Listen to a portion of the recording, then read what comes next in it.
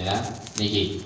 Wa idza alimal ma'mum annahu law iktada bil imam lam yudrik rakatan fil waqti.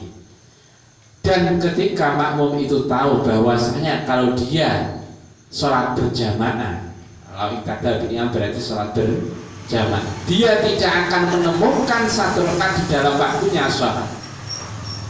Wa idza shalla mufaridan adrakaha dan ketika dia sholat sendirian dia dapat menemukan satu rakaat di dalam waktunya sholat haramat alaihi jamaah maka baginya haram untuk sholat berjamaah. Wa wajib alaihi sholatu munfaridan dan dia berkewajiban untuk sholat sendiri sendirian. Nah itu misalnya. Niku jenengan wis gitu jamaah waktunya semepet sholat maghrib misalnya. Sholat maghrib itu katakan jam 7 habis waktunya. Jam 7 kurang 5 menit sampai sudah sholat sampai kurang itu kurang semenit. Misalnya satu menit tak gawe sakat orang nyandar. Saya tahu itu. Karena saya misalnya sholat sarka itu butuh satu menit setengah.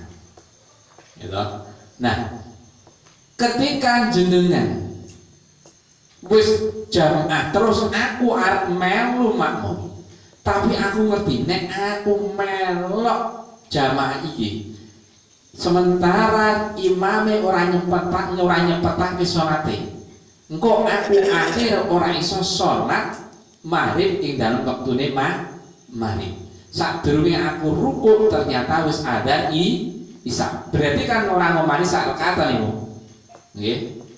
Nah sadurunge aku rukuk engko wis ada i isa. Wa idza shalamu farikan atraka tapi nek aku salat dhewean salatku wis tak cepetake. Sehingga sampai aku rukuk atau bahkan sampai sujud minimal aku rukuk lagi ada i isa nek ana kasus kaya ngono kuwi harumat jamaah. Maka haram baginya untuk sholat jamaah.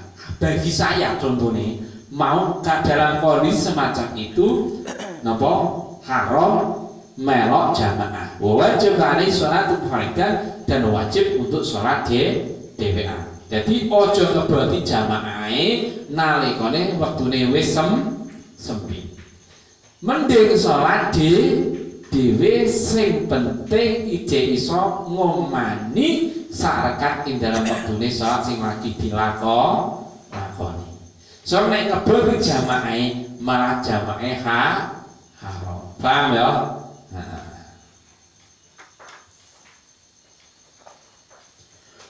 Wa hikmatuha utawi hikmah jamaah. Apa sih hikmahnya jamaah? Anna sholata saat sholat iku dia fatur iku suguhan. Wa ma'idatu birrin lan rampatan kebagusan. Tegese nyamian sing enak wa karimu hale utai Allah dan kamulya. Iku layadhu orang nyenehake sapa Allah maida tahu ing rampatane Allah atau hidangane Allah